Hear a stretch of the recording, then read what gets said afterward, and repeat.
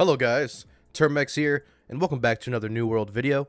Today, I'm going to be going over the Heavensplitter Spear, how to get it, basically reviewing the spear within itself, and showing you guys a bunch of cool things about it.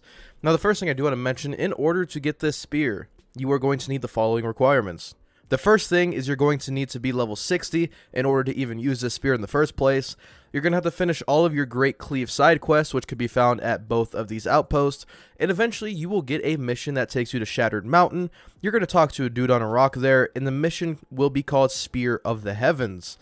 Now, this is a interesting weapon. It takes a long time to do, and I want to make something clear here. A lot of streamers, a lot of big boy content creators are saying you could do these quests by yourself. It's super duper easy.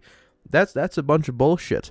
In all honesty, some of these, I guess quote unquote 580 legendary quests that people are calling them, you could technically do by yourself, but there comes to a point in every single one of these quests that there's just going to be a huge freaking boss that you can't do on your own. You're going to need a healer, you're going to need a tank, and not a lot of people are this far into the game to utilize this yet. But I just want to go over this weapon, go over what it does, and basically if it's even worth your time in the first place once you do hit this point in the game and you're looking for a good spear. Now, when you're at this point of the game, your gear is still struggling to breach that 500 mark. And this is going to help, but it is a quest reward, so it's not going to count towards your drops. Even though it boosts your gear score to 520, it's not going to actually boost your drops. But it has a very, very nice role, a very nice ability, and the 580 gear score doesn't take away from the fact that it's a great weapon. I have to say, all in all, if if I were to exclude the amount of time it took me and this one other guy to find people to help us with this quest, it probably took about four or five hours. If I combine the waiting times, the dying over and over, the finding a group, easily took 12 hours of my whole day just to do this stupid quest.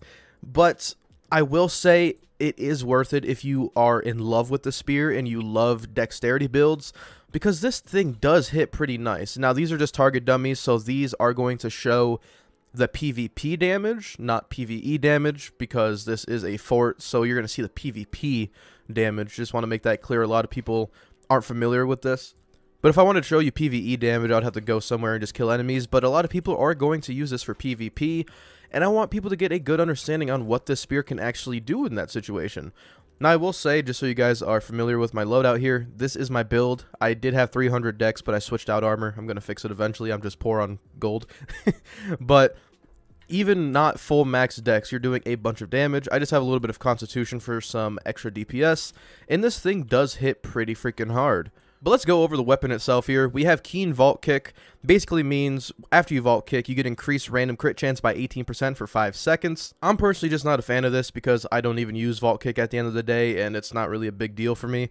I kind of wish this was something that had to do with Sweep because Sweep is an amazing ability. As for Corrupted Bane, it's not terrible, it's not great, but that 18% damage is pretty freaking nice. And now finally we have the Electrified 3 gem. Now this is the gem that it comes with. You can always swap this out if you please. But my opinion, I kind of like the lightning damage. I'm not going to lie to you. The lightning damage is pretty nice, and I don't see a lot of enemies resisting lightning damage, but you can always switch this out. You could switch this out for maybe a Opal if you really want to. You'll get that bonus damage while your stamina is not full, which would be my recommendation if you don't want to keep the lightning damage because that gem is amazing. Now I am going to be making a gem guide that is more catered to everybody that is running dexterity builds that video will be out soon. Like I said, I'm working on all these videos, man. I'm trying to get them all out there for you guys. But at the end of the day, is the Heavensplitter something you should put your hard-earned time into? And honestly, if you're at this stage in the game and you just hit 60 and you're looking for a great spear, you have no reason not to be doing this quest line. This spear provides a lot of damage, and honestly, I'm a big fan of the lightning. Not everybody is, but it is pretty dang nice. And I will say, this has a very nice synergy if you use Javelin with it, just because if you hit a crit, the amount of damage it hits for is absolutely crazy. I mean, PvP damage hitting for almost 3k, that's pretty nice. And I do want to mention, this thing looks like a freaking badass weapon. This is like Zeus's pokey pole with lightning attached to it. The whole weapon is gold.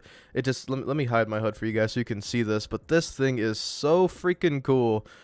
Ah, that it's such a cool looking weapon. I like whoever did what they did with this weapon. Now, if you are curious, since you are looking into the spear, if you want an actual like spear build that you want to build upon, I do have a video on my channel about that. I could link it in the top right right about now, so you can check that out. But currently, I am working on a musket build, and my bow build will be out very soon. Just a few little updates because I know a lot of new people are coming to the channel and they're asking about all these things, and I'm trying my best. I'm traditionally not a upload videos daily content creator, but for this past week I have been because my brain is filling up with a bunch of new world ideas and a bunch of different things that I want to do. And honestly, it, it's cool. It's cool taking a little transition into a new game, and I'm I'm still learning.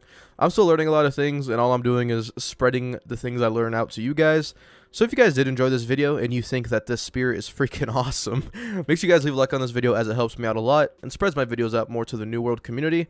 Make sure you guys hit that subscribe button so you never miss out on another New World video from me. But you guys have a terrific day. Make sure you guys be safe, and I'll see you guys later.